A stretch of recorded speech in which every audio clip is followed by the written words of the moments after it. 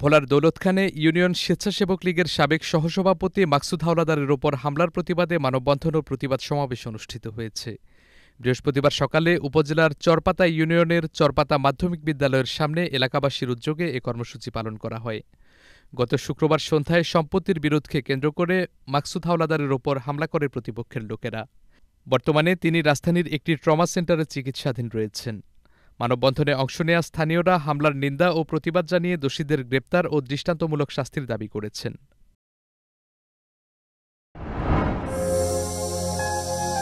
thank you